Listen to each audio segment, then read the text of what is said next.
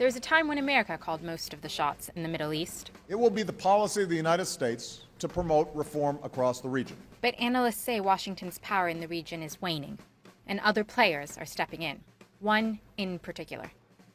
Russia's ties to the Middle East aren't new. Back in Soviet times, Moscow spent billions of dollars supporting friendly governments in Syria, Egypt, and Iraq. And ever since the 1979 revolution ousted Iran's pro American monarch, Russia's been the one superpower Tehran is most willing to work with, in a sometimes uneasy alliance.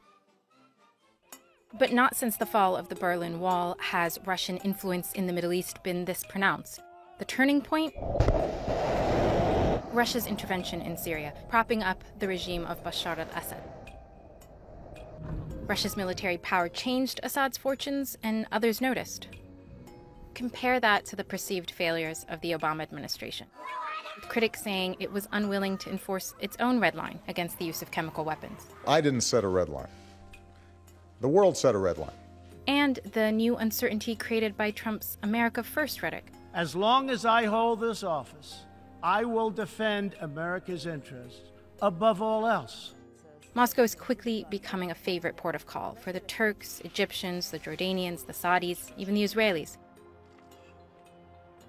As those countries increasingly look to Russia to help sort through thorny problems, making it the Middle East's newest power broker.